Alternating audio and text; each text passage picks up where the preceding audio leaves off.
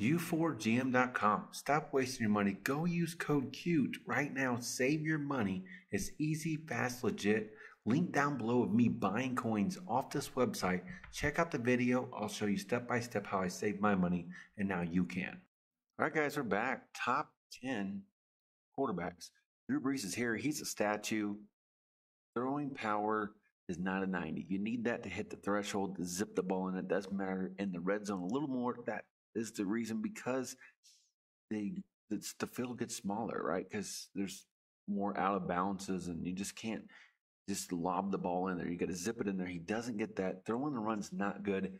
That does matter because when you're trying to get away and just get the ball out, that's going to activate throwing the run, and you're going to miss throws, and you're going to be upset. So just be careful investing coins in this card. He does get gunslinger. Um, he's just not going to fit a lot of people's schemes right now. Jayden Daniels. Okay, throw deep accuracy. This is not good. He's going to miss throws here. He's going to be frustrated. He can juke, he can run, so he's fun. If you run options with him, I get it. Uh, you are going to be at a disadvantage for his like abilities and X factors. But yeah, Jayden Daniels is going to be that guy that can still get the job done. If you throw the ball short and medium and on the run, throwing the pressure is nice. He's speed, so you can win with them. You're just at a disadvantage because you don't have the best quarterback. Up next, we have well Justin Fields. Justin Fields is here. Medium accuracy, not good. Throwing the pressure, really bad. This affects you when they're throwing the pressure, guys, and he throws a horrible ball, and you think, wait, what? What he do that for? Oh, I hate this game. No, it's because he doesn't hit a threshold. Okay, he's fast. He can juke, can't spin. Uh, missing X factors, missing abilities. So yeah, he's going ahead. I would go ahead and skip him. Uh, yeah, let's go ahead and skip him. Anthony Richardson's here. He's fast. Now he has 90 throw power. That's a night day difference between him and Justin Fields. Talking about throwing the pressure being 90. That's a high threshold. That's the highest thresholds. To hit that, this guy's gonna be great. Just don't get caught throwing on the run because this is horrible. Okay, he Justin Fields actually is a better runner. He has a better juke, gets better animation. So keep that in mind. You're missing X factors, you are missing abilities. But yes, this card here is going to be usable. Um, he's hitting thresholds, short, medium, deep. He'll be accurate if you sit in the pocket and you throw it. Or if you just run without throwing it with him, you're going to be fine. He's actually an amazing pocket passer because throw under pressure, you can actually set in there and deliver it. Mahomes, you probably thought he was higher on the list. He does get 90 throw power. He does hit some thresholds here on the run, so he's actually way better throwing on the run than Anthony Richardson. So, guys, this list is a little difficult because it depends how do you play, right? Do you call rollouts? Do you not call rollouts? Um, do you call options? What do you do? It's very difficult to make a list when people play different ways. Now, his COD is good, actually, which is almost surprising to me. He has better COD than most running backs. Um, he does not get Gunslinger. So keep that in mind. Uh, don't overpay for him because of his name. Just know that he is usable. He does get some better X factor. He does get backyard. He's a, look at this. He's the only quarterback in the game that gets it. Okay, I get it. So if you're going to use that, then go get him. But right now, guys, there are cheaper quarterbacks that do more. Joe is here, and people have been winning games. I've been seeing Joe a lot online recently, and you can win with him. Uh, you need to boost this to a 90. That's a threshold to zip that ball in there.